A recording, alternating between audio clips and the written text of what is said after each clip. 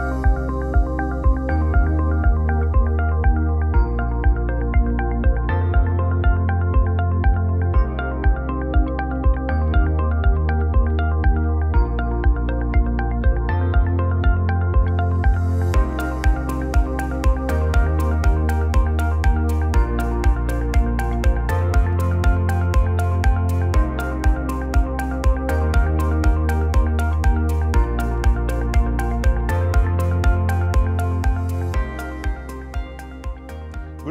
dear friends.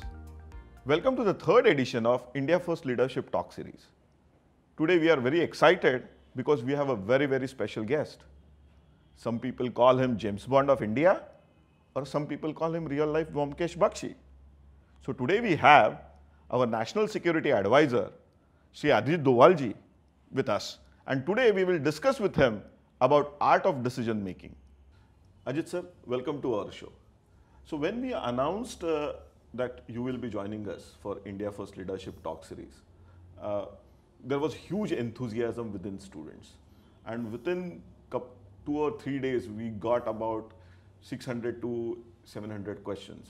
Then subsequently, we had to cancel the show because uh, some unfortunate incidents happened, and uh, then we are now we, until now we have received about 950 questions from students when we scanned those questions, a lot of those questions were dealing with India's very sensitive security kind of uh, inquiries or um, they were keen on knowing about it. So we couldn't take many of those questions, but still we have tried to compile some of them and you can answer based on your ease of dealing uh, with uh, some of these things.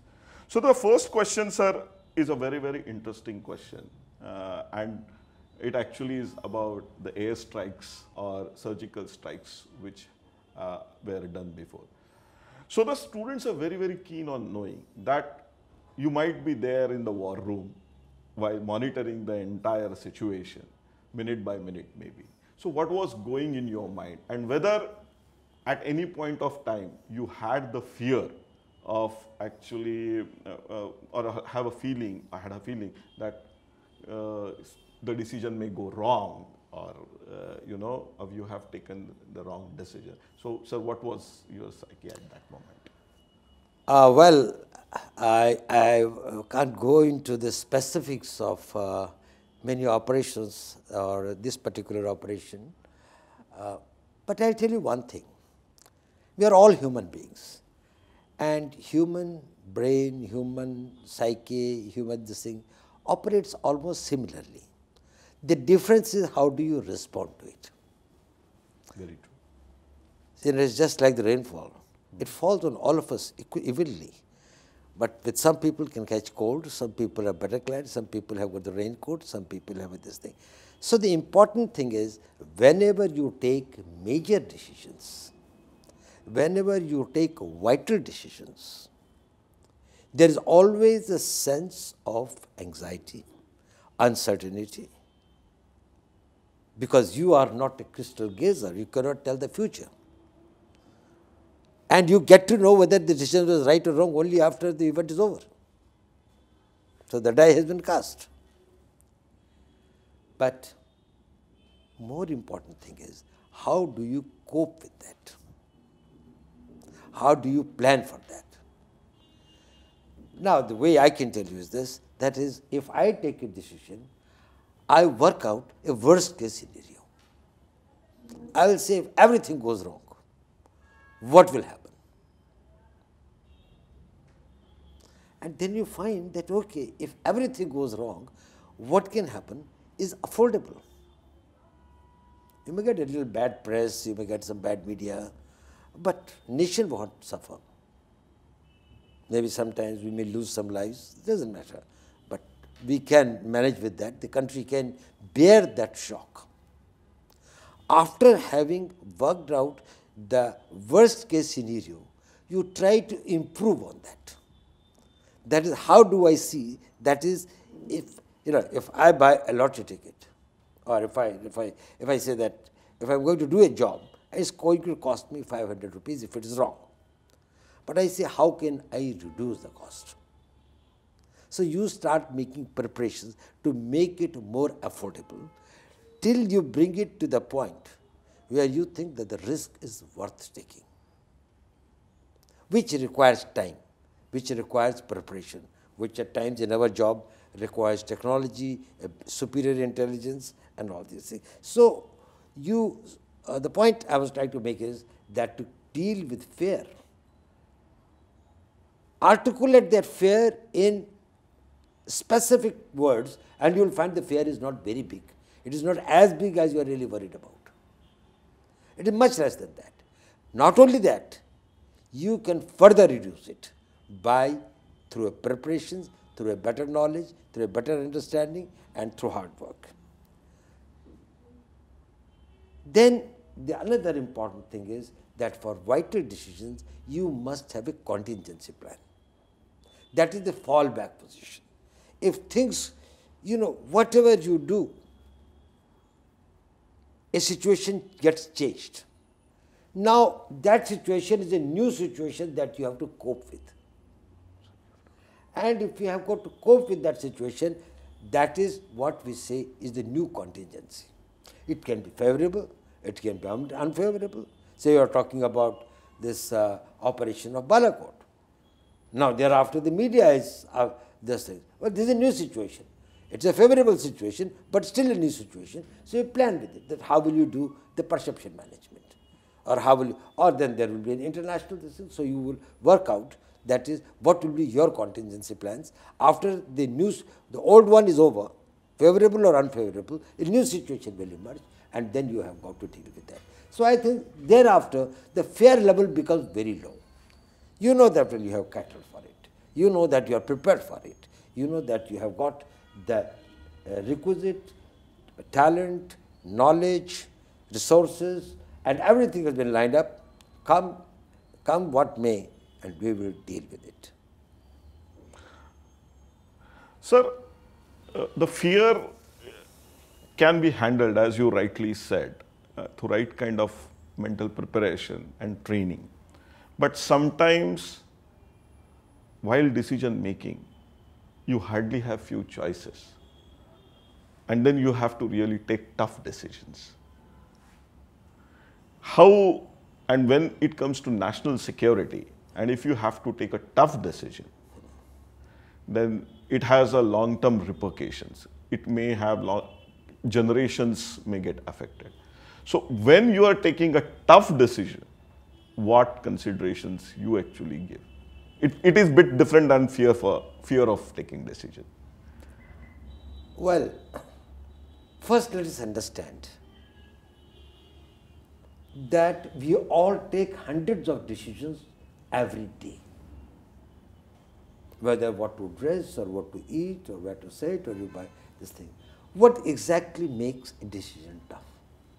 What are the tough decisions? Tough decisions are where the consequences are going to affect a large number of people for a long period of time. The risks are high because some of those wrong decisions may change the course of history. Like, say, when India got its independence and the merger of the states was going, a decision was taken that is, let us go to the United Nations because the, from the Pakistani side, the masqueraders have come with arms and others, rather than taking them headlong strongly, we thought that let us go to the United Nations. And thereafter, we got into a situation where it became internationalized and we could not, the Pakistan occupied Kashmir, liberated.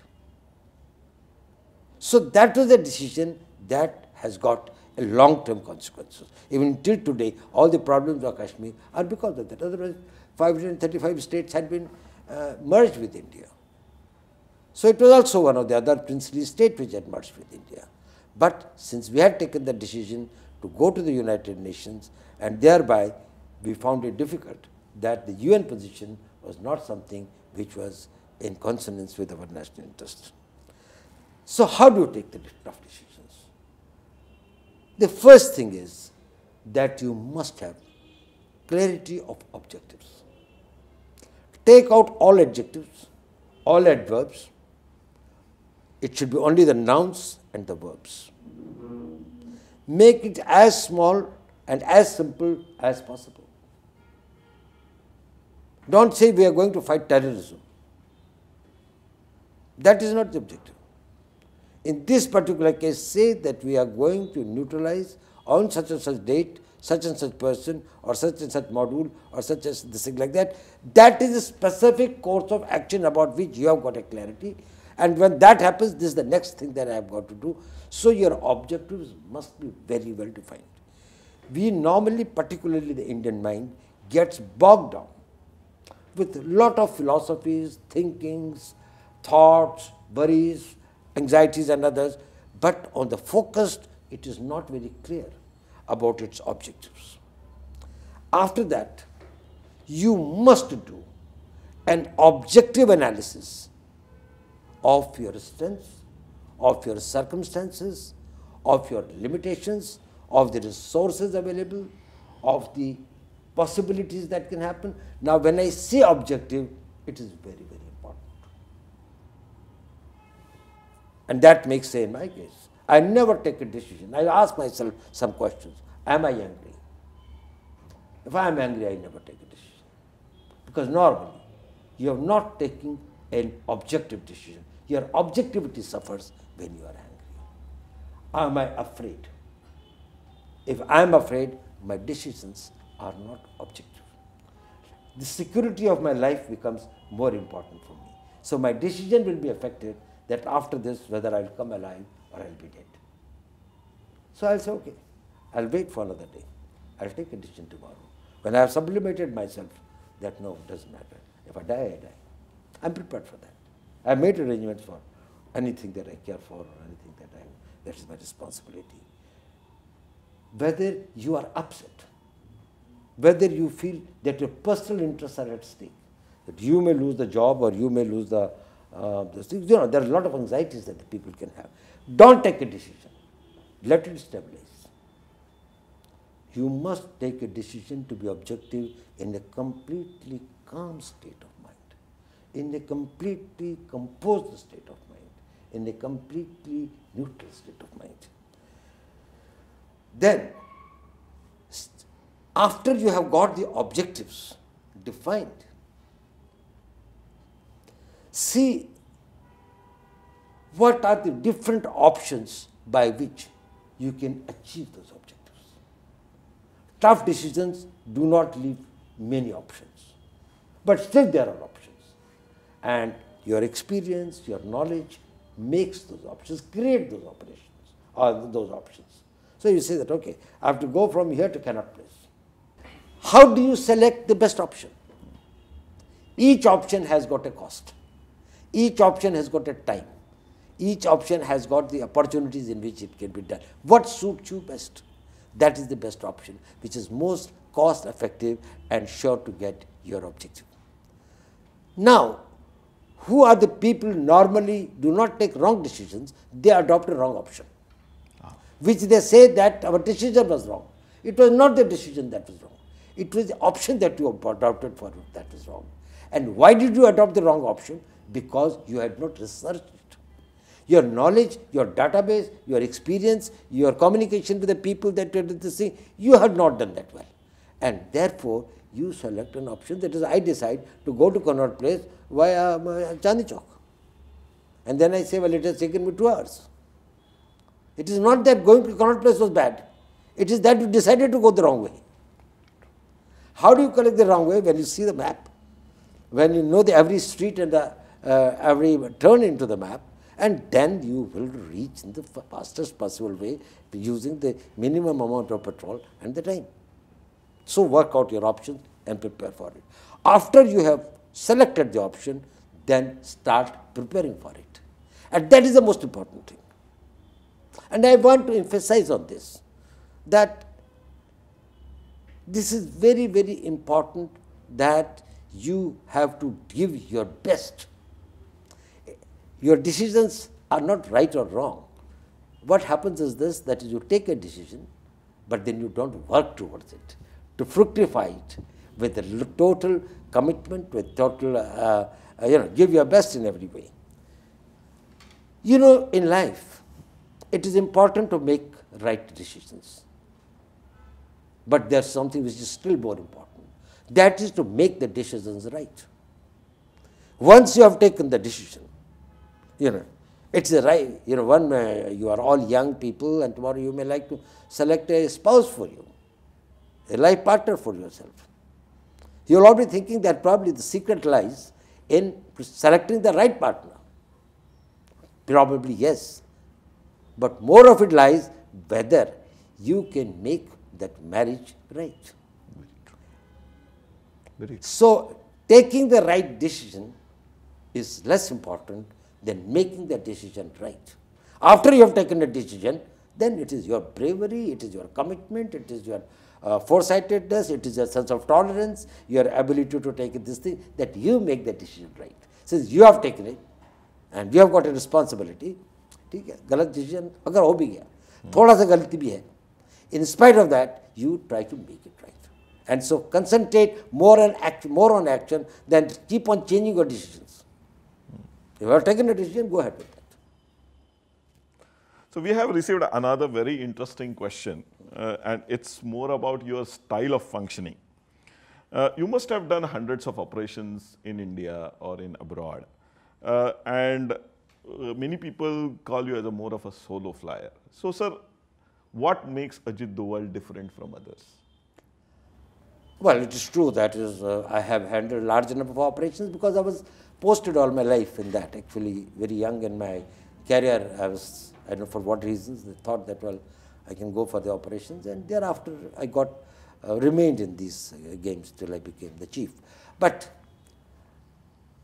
actually, I have never given it a thought that in any way, whether I am different, I feel that every human being is different. God's each creation is unique. If two fingerprints cannot be same, how can be the two individuals or the personalities be identical? They have got to be different. I may be different too.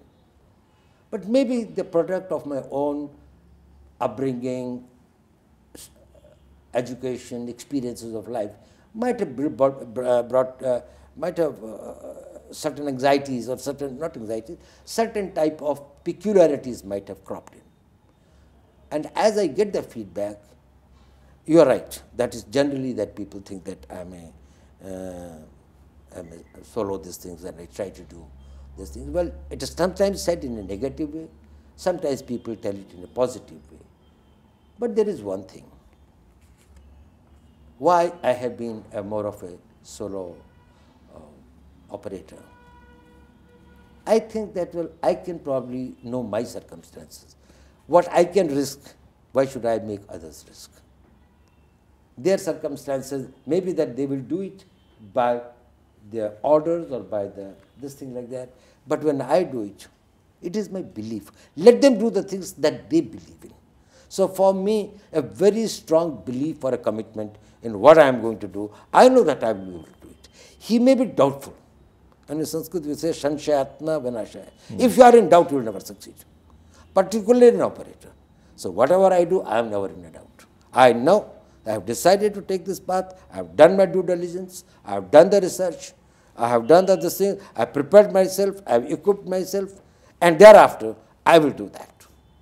So that may, there are some people that will be fine. That will, they will take it as an order, but their commitment and their belief level is not same. Secondly, I would not like others to take the risks for which totally my creation, my mess. You know, I can, I can, you know, a lot of things are talked about, these things that some books have been written, Mr. Marva has also written about it. That is when we had a lot of these things in, in, in uh, Golden Temple. And uh, about 300 terrorists with this thing had gone inside and then they were committing these things, others, and going inside. And then we had to take this thing, the Operation Black Thunder. At that point of time, well, somebody had to go inside with whatever cover, with whatever identity. And while I was the head of operations, I don't have to be this myself, I could have to. I know that the chances of his survival are very little, particularly when you go for a long period and come and go again and again. So, they told me that, well, sir, we will accompany you. I said, nobody will accompany me. I will become more vulnerable if somebody is with me. There is another thing, in intelligence operations, you are the safest if you're alone. alone. Because nobody can contradict you. Even if you are caught, it is your lies that will pass off. And if you are too smart and intelligent, you will be able to take them around and think, you do not know what the other man has said. Not that he is wrong, but he is different. So they can find the loopholes. But anyway, being solo fighter is one.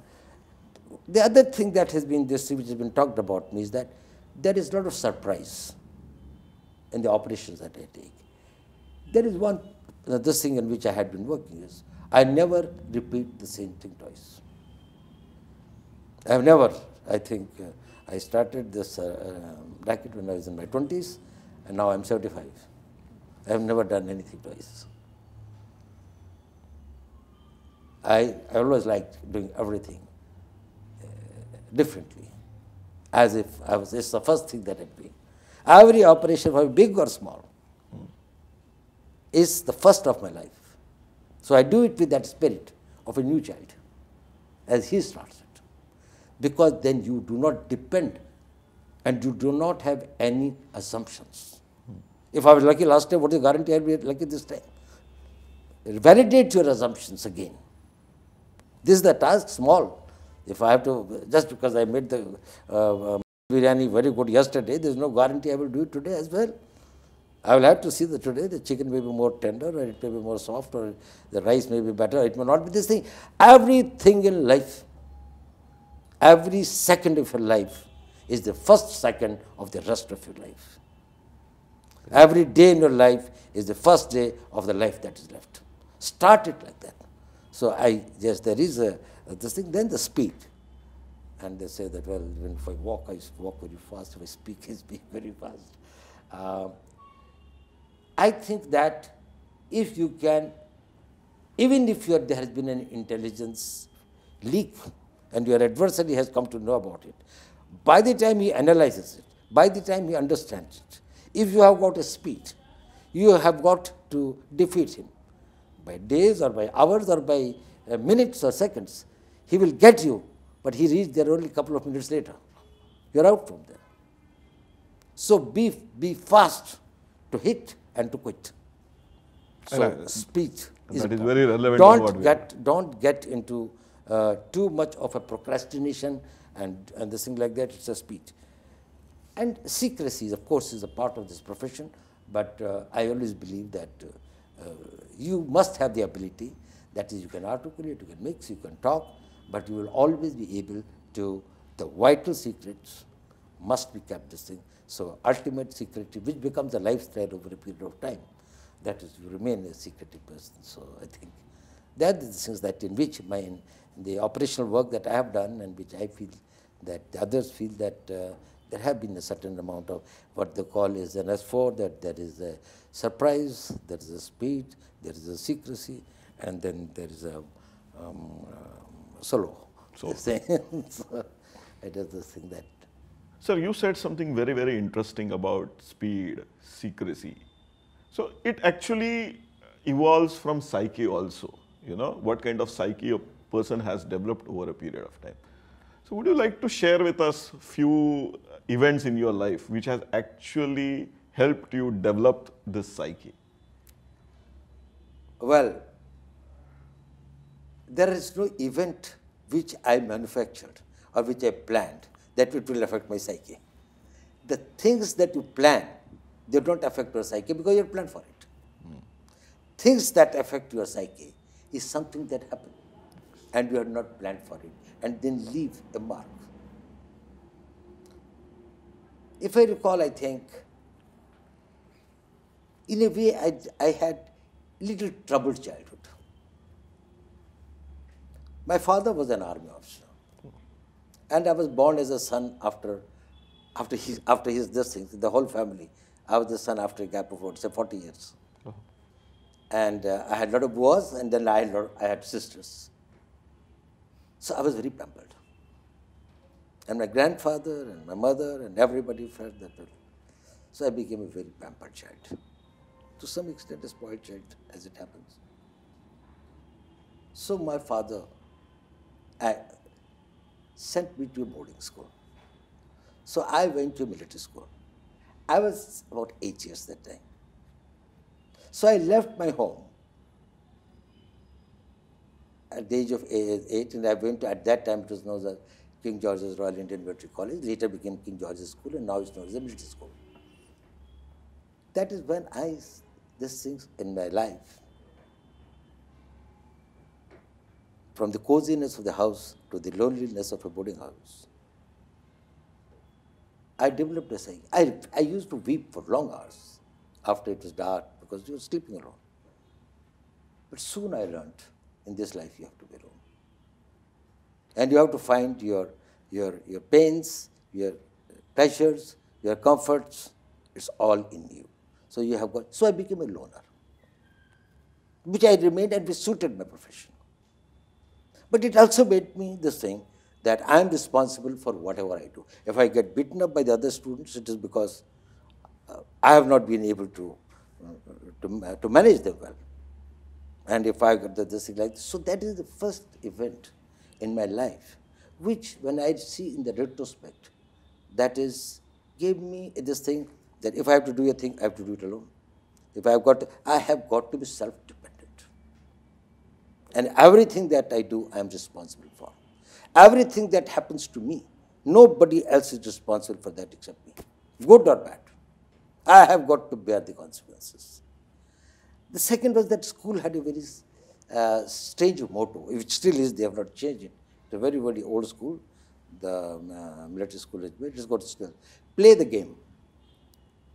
They used to think that, well, it's more important that, uh, the, you know, the students were brought there in very young age. They must learn to play the game and inculcate certain qualities which come through the, this game.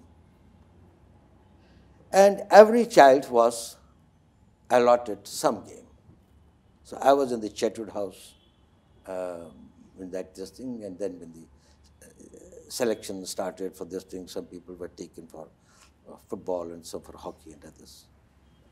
I was this thing for boxing. Mm, boxing. It's a very interesting story. Anyway, school level, everybody plays, so I was also there. I was a reasonably good school time boxer and everything. But my, uh, he was also our, my, my, house teacher and also the, um, uh, these things. He told me one day a story. He said, do you know why I selected you for the boxing this thing? He said, you have got a very unique quality. I was, of course, at that, when you are very young at the age, nobody knows who you're tall, who you're short. So all are short of this thing only by small inches or half inches, something like that. So you don't have this thing. He said that is, you never accepted a defeat. When we're beaten up and you are beaten up, you will never come out of the ring.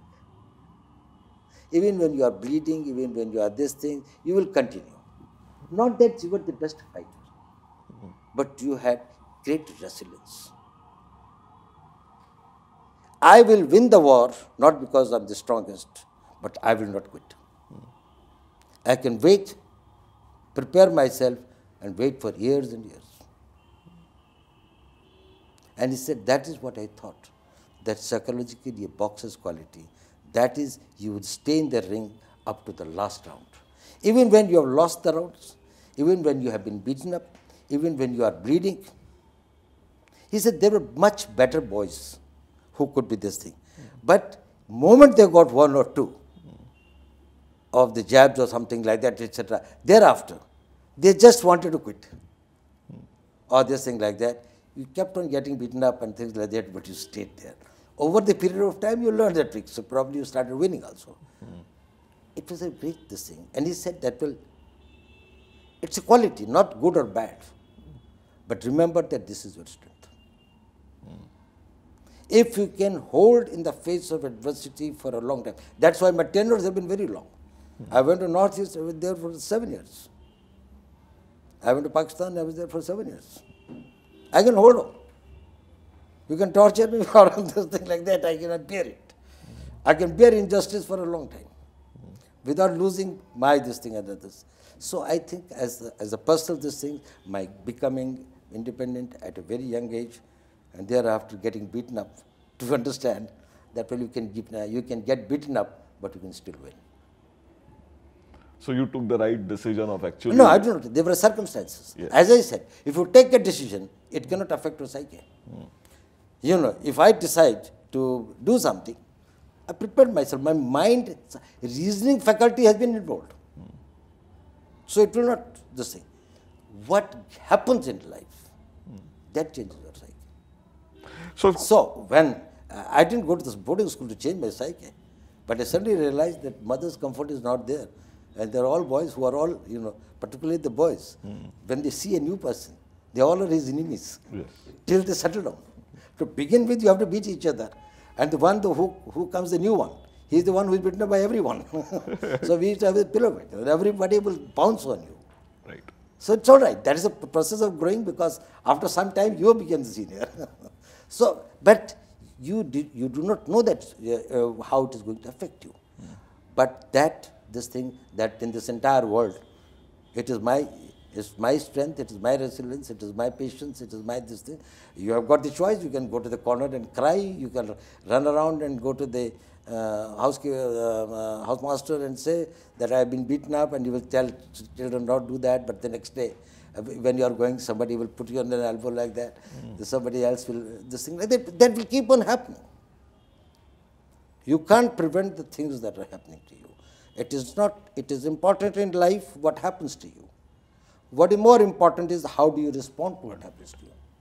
I think the nature or circumstances were preparing me, not for what happens to me, that is in the hands of others or the God, but it is preparing me for what, how will you respond when something happens to you like that. So you want to say, sir, the decisions rather than being right needs to be circumstantial. No, I don't think that that is also my decision. It is not a binary thing. It is not a decision is right or decision is circumstantial. Number one, nobody takes a wrong decision. Whether it is right or wrong is known only after the event is over. So when you take it, you take it as right because you think it is right. Otherwise, you won't take it. Will you take a poison thinking that it's a poison? You think it's a sweet, uh, somebody has given you a candy and you are having it. Turns out to be poison. At that time, the decision was right because that was the same then. So it is wrong to say. Secondly, all decisions, whether right or wrong, has to take into consideration many factors. Circumstances is one of them. Now, if I we are in this room and somebody comes inside to say one AK 47 or something like that, that sort of thing like that, this is a particular setting. In this setting, you have got to take a decision. So you may say that okay, you're taking out of this thing is the best thing, or that is you're trying to see the break the door and getting out of that and seeing that somebody can do whatever is that. These are the circumstances. It cannot be the same if it is in the veranda. But there are eight persons who are armed. It will not be the same if it is on the roadside, where you have got all the this thing to take this thing and take out, pull out your uh, your gun. So circumstances in all decisions, right or wrong is not the point. Circumstances or the setting is important. But when you con- setting is not the only factor. There are many other factors which I said. What are your objectives? Why are you taking this mission? Why are you uh, undergoing this? They are all important. What is that you want to achieve? What are your resources? What are your this, this thing and this? But this question that whether it should be right or it should be circumstantial means that if it is circumstantial, it will not be right, and if it is right, then it will not be circumstantial. In this case, the right you are talking about more about the morality sense or the value based sense. If you mean that the value based sense, then if there is a conflict between what you want to do and what you should do, Or have to do. no, not have to do. What you should do, have to do is a different thing. What you want to do and what you should do. What you should do is your duty. What you want to do is your pleasure. Opt for the second. If the choice is between what you have to do and what uh, uh, you uh, um, you are forced to do, there is no choice. It is not a decision. It is not a decision.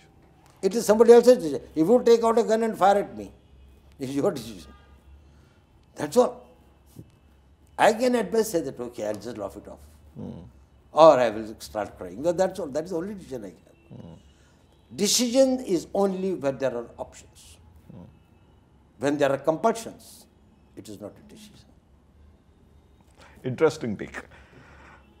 Another, sir, question or a set of questions which we have received from large number of students, uh, basically because these are engineering student, technology students, are about the future of war, future of terrorism, because now information has become a key. Cyber security has become a key. So how students are very keen on knowing Actually, you are very right. After the Second World War, and with the development of instruments of mass destruction, where there is a guaranteed extinction of the human thing from this planet, if the wars, if the great wars really take place. We have we have gone into an era of the Clausewitzian type war through other means.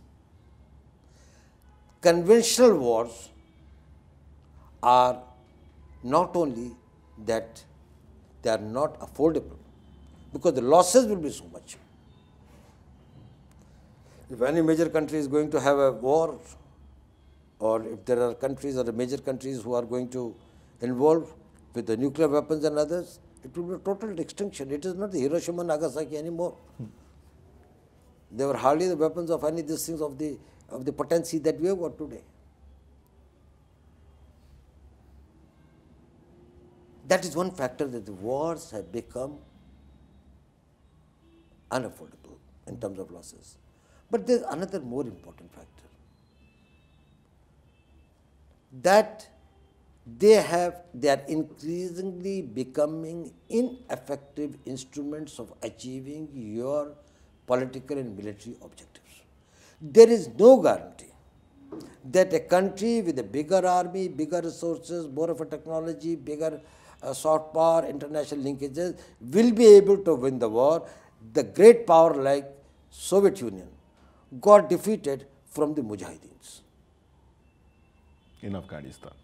Or the Americans could not cope with Vietnam. You know, in the asymmetrical warfare, I build up my army so that if your army is smaller, you will, I'll be able to win over you. Now, in today's conflict, in case the conventional wars are not going to achieve your military and political objectives, then you don't fight wars only to kill people. They want to achieve something. They are being replaced by wars through other means. What did United States or what did the Western world or the, this thing do, the world do when the Soviet forces moved into Afghanistan?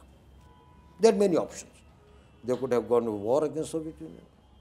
They could have done the economic blockade and this thing of the economy. They would have taken the diplomatic this thing and in the in the United Nations they would have uh, this sanctions against it. But it itself was a member of the Security Council, so that could not have been done. The people from, from the Islamic world and asked them to start a jihad against the, the Soviet troops. And in that jihad, finally, they were bled and fatigued to that extent that the uh, Soviet troops had to move. And Afghanistan came under the control of the Taliban government. Success of that distinct is that now we are getting into a fourth generation warfare. A fourth generation warfare will be a warfare against the invisible enemy. And in the war against the invisible enemy, man who will win will be that who can see the invisible enemy. First. That is why the intelligence has become the prime factor. If out of 130 crore people, you are able to find the terrorist hmm. who just look like you, dress like you, move like you, then probably you win. If you can't, He wins. probably you lose. That, this thing is that the covert warfare is increasingly becoming the more this thing. Now, in that, the whole thing goes. So, that is one thing. Second thing is the technology. The mobility of the, this thing has become global. While people operated within limited geographical distance, now within seconds, probably, the, you know, people can find this thing. And the communications, and they can maintain the secrecy of the communications because they can devise new and new methods of these things. There are mobile phones, well, probably 50 years back when I joined this thing, well, there was no mobile phones or there is nothing like that on the internet connectivity or the cyberspace you talked about. The whole domain, cyber is a frontierless uh, domain. You can destroy the country's entire infrastructure. You can completely seize its uh, economic activity, its banking activity, its power sector, its civil aviation sector, its um, uh, communication sector, everything you can seize it and put it to total, total halt. Even on a, uh, in addition to that, now we are in the warfare in a stage of electronic warfare. In the electronic warfare, if the, if the plane takes place, I can divert the direction if I know the course of it, thing like that. Even the pilot will have no control over it.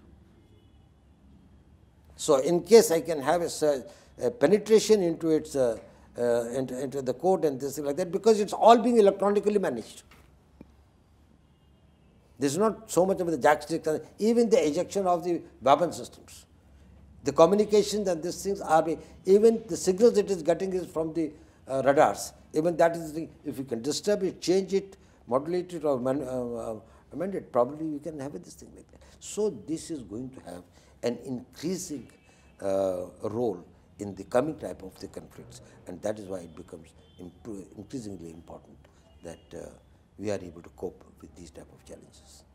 So when we are talking about technology, emerging technology, I think the youngsters, the students are at the forefront of technology actually trying to do large number of things. And now with India's uh, impetus for innovation, which we are also championing in big way.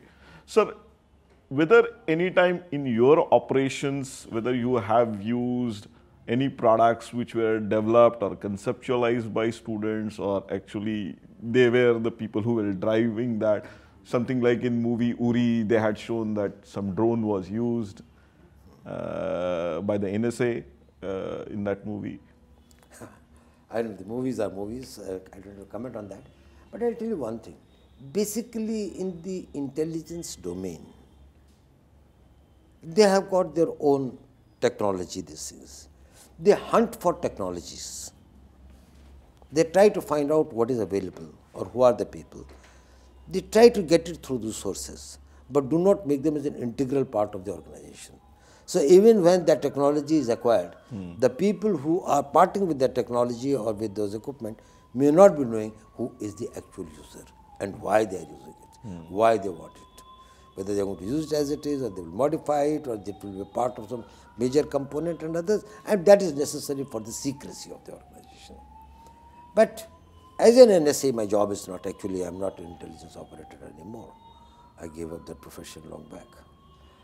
Uh,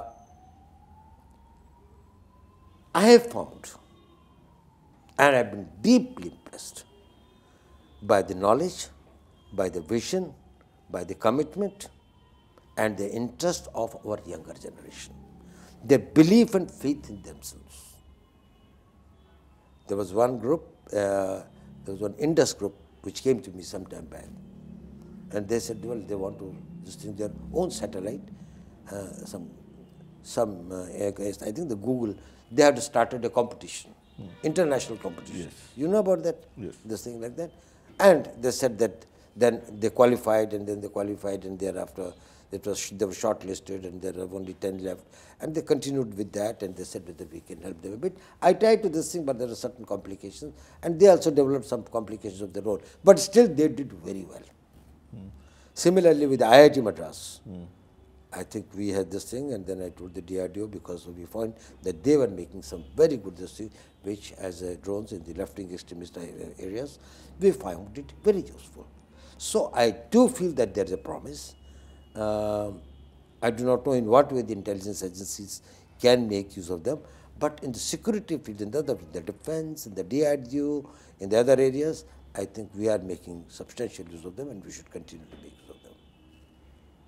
So just we were talking about Uri and those. Have you seen that movie, sir? And uh, whether you break cell phones, that's what it has always uh, shown in the movie.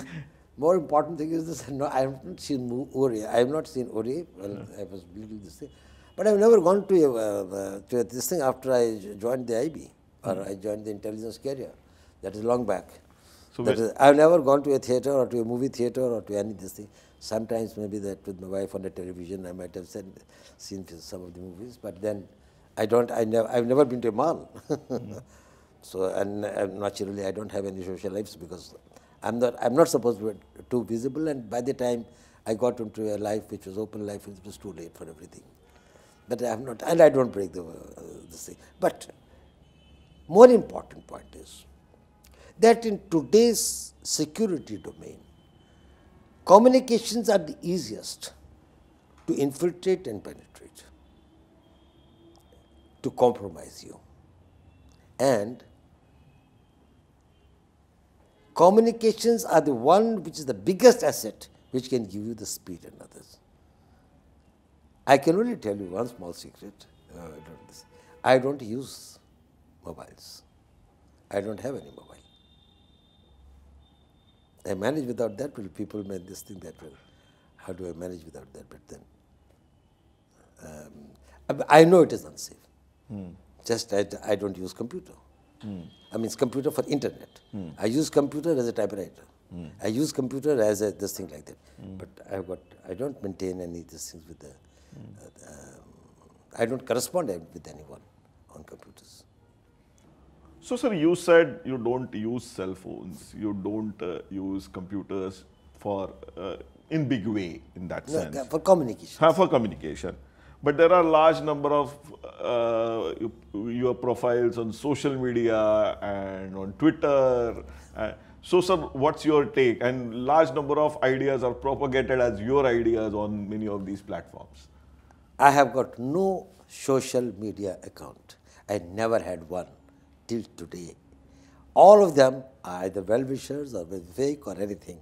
But I think again, I would like to tell my audience mm. that is, please don't mistake everything that goes by Ajit Doval's uh, uh, Facebook account or Twitter account and others. I have none. And maybe that someday I may have it after I am not doing anything in the government or something. But I don't have any and I have got to know these things. So, but so you write articles, you write blogs, or you don't write. So how many students would like to know how they can listen to your views on a particular topic? You know, there was a period. I, I uh, retired as the chief of IB in 2005. And then I established uh, a think tank which is known as the Vivekananda International Foundation. Until 2014, I got uh, this thing like that. I started it from a scratch and then it was this thing in Chanakyapuri now. And during that period, I wrote something. And during that period, I also gave some interviews. And I also delivered some talks. That was this interregnum that I had. Except that there is no authentic these things about what I have said. Probably your channel as an NSC, I don't remember, maybe once or twice. In last five years, this is the only one that I'm coming in public again. I do not know, maybe some sometime else, uh, maybe small event. But there has no been no this thing, and therefore all the social media and other types, it is uh, not this thing. Now, at this point of time, I don't think my talking and knowing my views are relevant at all. It is the government of India's views, and when the government of India's views, I am part of it. So it is, uh, I contribute my bit, but are many like me who contribute, and there is a decision is taken by the government, and what is communicated to the country is the decision of the government and it is the decision of the Prime Minister Modi in most of the cases since I am his advisor.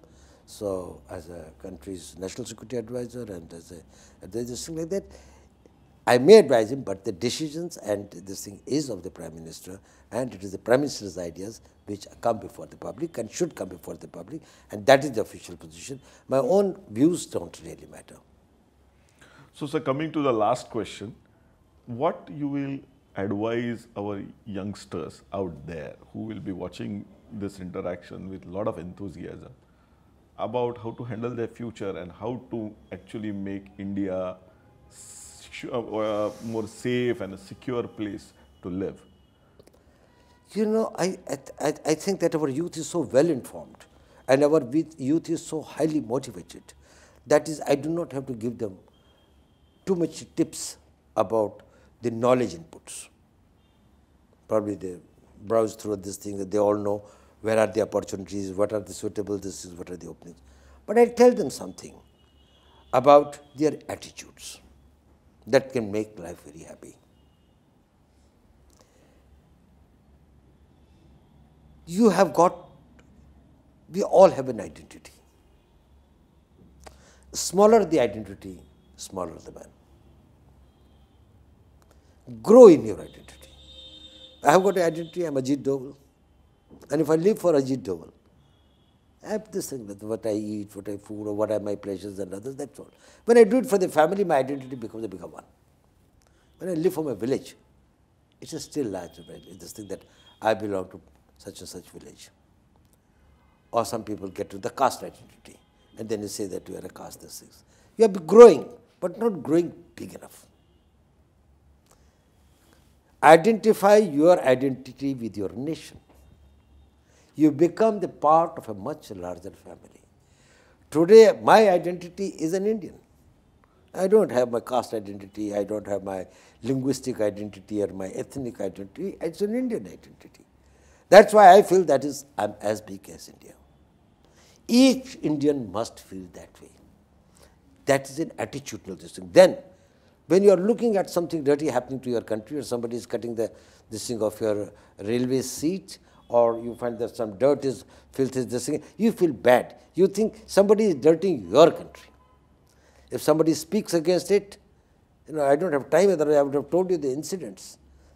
That once in a ship from Vivekananda was going from uh, Japan to the US, and he observed one thing, that there was one Indian who had taken the ship ticket but not of the, uh, of the, of the food or something. And therefore he was only given some snacks and not the proper food.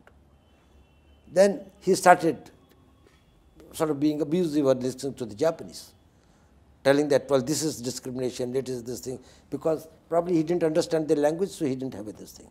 One Japanese got up and said, this is the food. Till the ship reaches, I'll keep on, I will not eat and give it to you.